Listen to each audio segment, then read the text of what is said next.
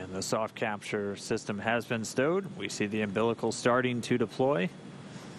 About 40% of the way so far, going pretty quickly. Should just take a couple more seconds until we're all the way connected. And then we should be getting that docking complete call out from the core here in Mission Control, SpaceX and Hawthorne.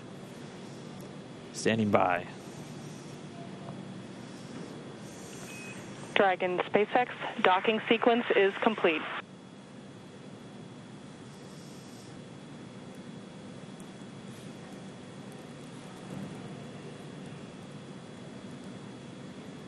X Dragon, we copy docking complete.